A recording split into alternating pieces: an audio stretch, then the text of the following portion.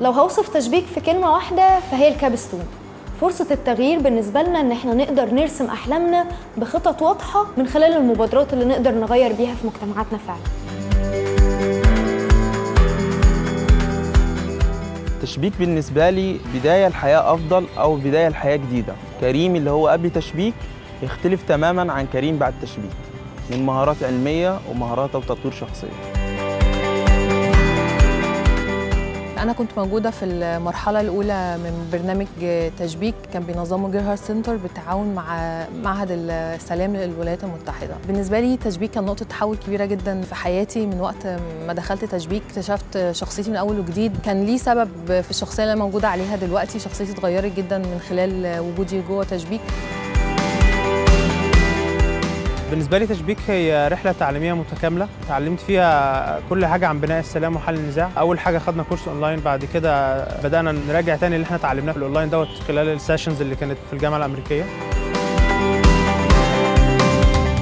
أكثر الجلسات اللي أنا استمتعت بيها في خلال فترة البرنامج الجلسة الخاصة بعمل على دليل تنمية المهارات الحياتية والجلسات التربوية وطريقة التعامل مع الأطفال وسياسة حماية الطفل وأيضا الجلسة الخاصة بتحليل المشكلات والتفكير فيها بشكل مختلف. وأخيرا جلسة كتابة المقترحات التمويلية ولاحقا ساعدتني بشكل شخصي وشكل مهني في عملي على تقدم للحصول على رعاية أو دعم من جهات محلية أو دولية.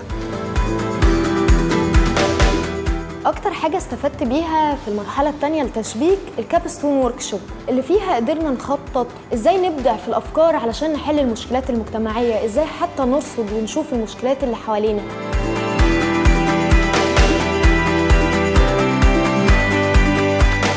أنا ما كنتش هبقى الشخص اللي أنا عليه دلوقتي لو ما كنتش دخلت برنامج تشبيك. وبس ما توقفش على أنشطة الجامعة بس والمبادرات بشكل خاص على قد ما أنا هو جوه تشبيك اتعلمت يعني إيه سلام واتعلمت يعني إيه نزاعات.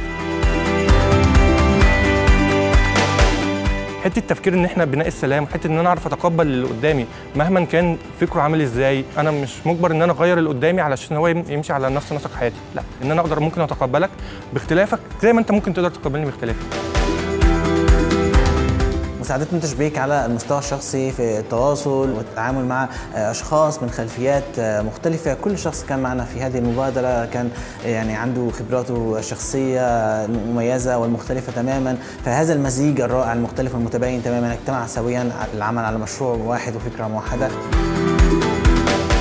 الجزء اللي حصلت في فترة كورونا بقت معظم الحاجات اونلاين اتحولت من offline بقت اونلاين ده اللي إحنا already كنا عملناه في تشبيك يمكن قبلها بحوالي ست شهور أو سبع شهور إن كان في جزء من برنامج تشبيك اللي هو الجزء ال topic اللي كنا بندرسه كان في جزء منه كبير اونلاين لما جت فترة كورونا ده اللي استعنت بيه أو ده اللي اداني تشجيع قدام شوية اللي هو طيب إحنا قادرين إن إحنا ندي topic أو technical topic online مفيش مشكلة. فده اللي خلاني مع فترة كورونا إن ابدا المبادرة بتاعتي اللي هو نبدأ نعلم الأطفال والشباب. ده, ده اللي كان ال first segment بالنسبة لي إن إحنا نعلمهم ال 3D modeling وازاي يشتغلوا على برامج ثلاثية الأبعاد وإزاي يطلعوا أفكارهم.